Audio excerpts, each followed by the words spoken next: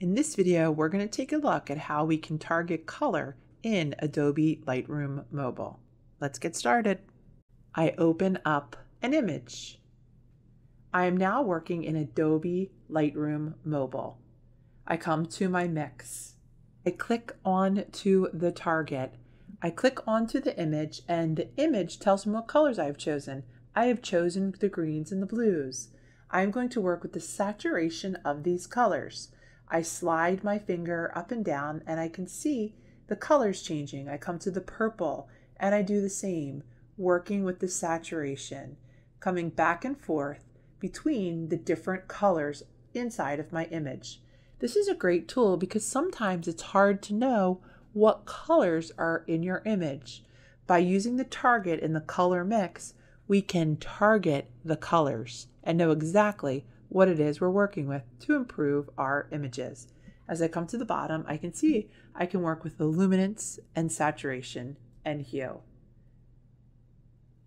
I continue to work until I get an image that I like.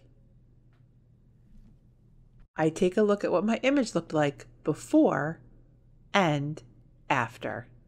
Inside of Color Mix, I click on to the target. Then I come to my image. I have selected a yellow and an orange in the Frida Kahlo banner. I drag it, I'm on luminance. I see the luminance changing.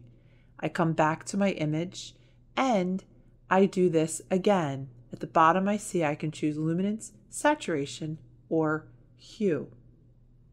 I click a different part of my image, again targeting oranges and yellows, targeting my blues and my purples. I'm dragging and changing the luminance. I can see it as it's changing. I see my image before and after. This is a great tool because sometimes it's difficult to know exactly where those colors are inside of your image. After I work with the color, I'll work with the light to improve the distribution of value across this image. I see my image before and after.